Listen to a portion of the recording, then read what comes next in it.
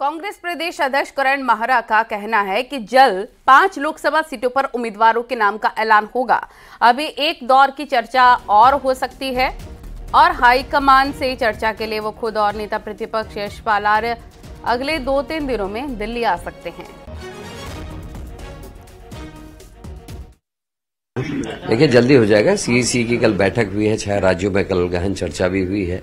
और party high command ने सबकी व्यूज़ ले लिए हैं, उनको नोट डाउन किया गया है और जल्द ही पार्टी अपना निर्णय सुनाएगी।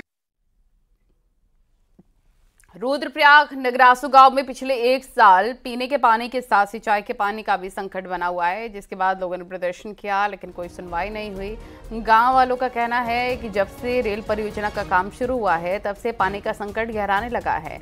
गाँव के लोगों ने क्षेत्रीय विधायक पर भी अनदेखी का आरोप लगाया। गाँव के लोगों का कहना है कि अगर उनकी समस्या का समाधान नहीं हुआ तो वो लोकसभा चुनाव का बहिष्कार करेंगे।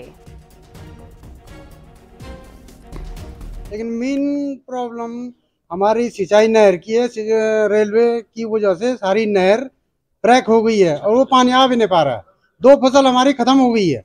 लेकिन अब जब हम ये चाहते थे कि 12 इंच का पैप पूरा गद्दे घोलतीर गदेरे से आए और हमारे गाँव तक उससे पूरा अच्छा हो जाएगा। छोड़ बच्चों को छोड़कर कि हमें पीने का पानी मिल जाए। आज हम यहाँ जनता दरबार में हमारे डीएम साहब जी से मिले और हमने अभी एप्लीकेशन वहाँ दे रखी है। उन्होंने भी आश्वासन दे रखा है कि जल्दी से जल्दी उस पर काम हो जाए। बनबुलपुरा में सरकारी सिस्टम को अपनी ही ज़मीन से कब्जा हटाने में हिंसा झेलनी पड़ी। लेकिन अब नैनीताल जिला प्रशासन सरकारी जमीनों पर कब्जे का खाका तैयार कर रहा है। हालाँकि पहाड़ में हो रही डेमोग्राफी चेंजेस भी चिंता का विषय है।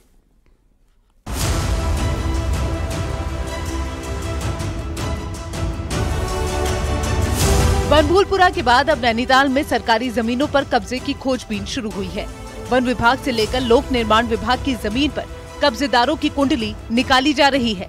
तो वहीं खाम लैंड यानी कि पट्टे की जमीनों पर भी होटल, रेस्टोरेंट और कारोबार कर रहे लोगों पर प्रशासन की नज़रें हैं।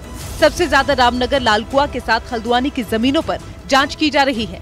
तो वहीं पहाड़ी इलाके में भी स्टाम्प पेपर में बेची गई जमीनों पर कार्रवाई शुरू होने जा रही है। स्टैम्प पेपर पर ज़मीनें खरीदने, बेचने के केसेस सामने आ रहे हैं। काफ़ी कार्रवाइयाँ यहाँ हुई भी हैं। अलग अलग एजेंसीज़ के माध्यम से अपनी भूमि के संबंध में।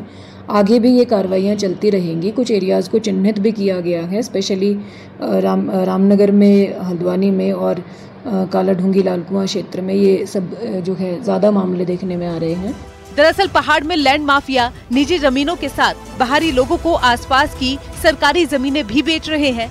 कई स्थानों पर तो डेमोग्राफी तक चेंज होने लगी है। पहाड़ में हो रहे जमीनों के कब्जों और डेमोग्राफी चेंज पर स्थानीय लोग सवाल उठाने लगे हैं। एक पूरी योजनाबद्ध तरीके से छोटी छोटी जगहों पे पहले एक खुमचा लगता है फिर दूसरा लगता है फिर तीसरा लगता है और कुछ दिनों बाद जाने पर वहाँ दिखता है कि एक पूरी बस्ती नहीं बस गई है। और कहाँ से ये लोग आते हैं क्या आते हैं बहुत बड़ा एक ये इसके पीछे सिंडिकेट मुझे लगता है काम करता है। बहरहाल अगर जाँच सही से हुई तो कई लोगों के होटल रेस्टोरेंट से लेकर जमीने तक इस कब्जे में सामने आ सकती है। न्यूज़ 18 के लिए नैनीताल से वीरेंद्र बिष्ट की रिपोर्ट।